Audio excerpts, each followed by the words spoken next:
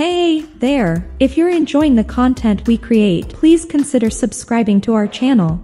A priest and a nun are caught in a blizzard. They find a deserted cabin and take shelter, where they find a sleeping bag, a bed, and a pile of blankets. The priest, being a gentleman, offers the nun the bed and takes the sleeping bag for himself. As they get tucked in for the night, the nun calls out. Father, Father, I'm cold.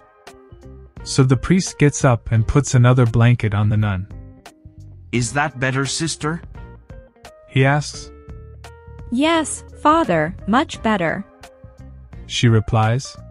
So he gets back in his sleeping bag and starts to nod off, when she again calls out. Father, I'm still cold. So once again, the priest gets up and puts another blanket on her, ensuring she is tucked into the bed well.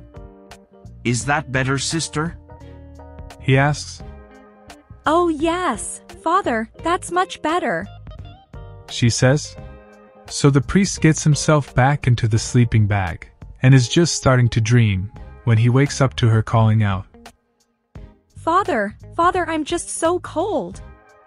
The priest thinks long about this, and finally says, Sister, we are in the middle of nowhere in a blizzard.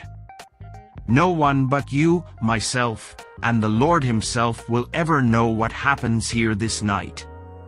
How about, just for this night, we act as though we were married?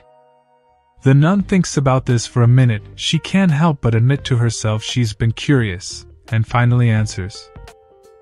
Okay, Father, just for tonight, we will act as though we are married. Great. The father replies. Get up and get your own damned blanket.